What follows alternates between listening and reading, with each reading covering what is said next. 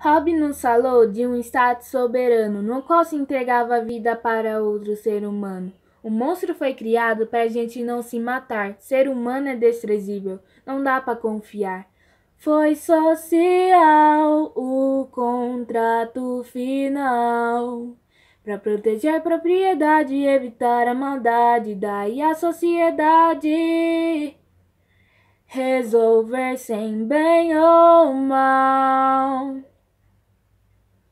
John Locke pensava diferente. Para ele todo mundo era bom, um ser humano vai na frente. Estado natural não existe ninguém mal. Se não tem disciplina, corrompe o racional. Foi social o contrato final.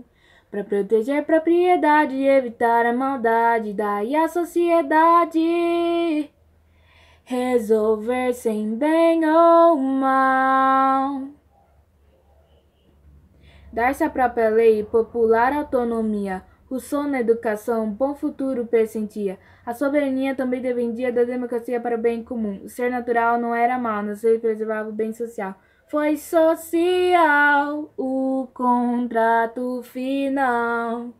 Para proteger a propriedade evitar a maldade, daí a sociedade resolver sem bem ou mal.